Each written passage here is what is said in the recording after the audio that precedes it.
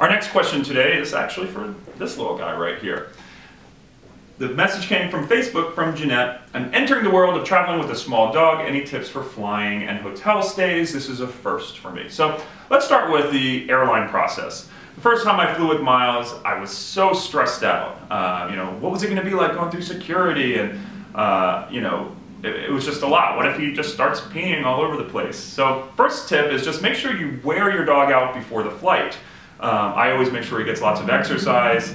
Um, and then depending on the length of the flight, I, I, make sure not to feed them too much in advance. You know, you have to time their bathroom breaks and have them go right before a flight so that they're not getting stressed out with having to go to the bathroom. So always get lots of exercise. It's good for both me and the dog.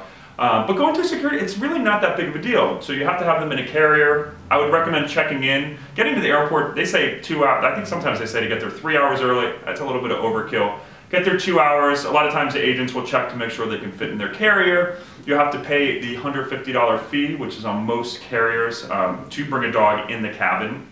Now you can check dogs, and I know some people just have, you know, if you have a huge dog, you have to check them. There's a lot of websites out there with really bad information about dogs dying in the hold of airplanes. Think about how often they lose passengers' luggage. There have been a lot of horror stories. So I personally would never uh, ship miles beneath the hull. Um, but you know, I understand sometimes there's no choice, but I would try to avoid that as much as possible. Luckily, you have a small dog, so that's no big deal. So get to the airport early, going through security, you'll actually have to hold your dog, and great thing is you get opted out of going through the uh, nudiscope. You know, you, you will go through, you'll hold your dog, put their leash and collar through the metal detector or through the uh, x-ray belt, you hold them, go through, and uh, if you have TSA pre-check, you can go through with the dog. So Miles loves his pre-check. Uh, it makes it much easier. Um, TSA agents are actually nicer to my dog than they are to me. Uh, so there are actually perks to traveling with the dog.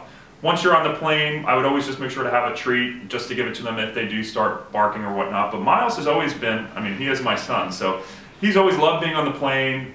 Nowadays, he pretty much is snoring even on takeoff. He's actually slept throughout the entire takeoff roll before.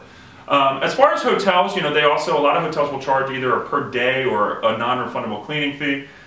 I would recommend checking out Kimpton Hotels. Uh, they are very pet friendly, will never charge the fee, but most hotels will let you, um, if, even if you pay a fee, they'll give you a, you know, a doggy bed.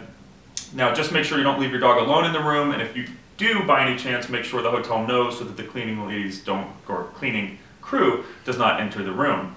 Sorry. Um, in general, it can be a little bit stressful, a little bit expensive, but if your pet is your family, like Miles is, uh, and I just live a, a travel lifestyle, um, you know, you always have to, I have not run into any situations where, you know, someone was allergic, but I would completely understand and switch seats in that scenario. So just be sensitive to other flyers if there are allergies.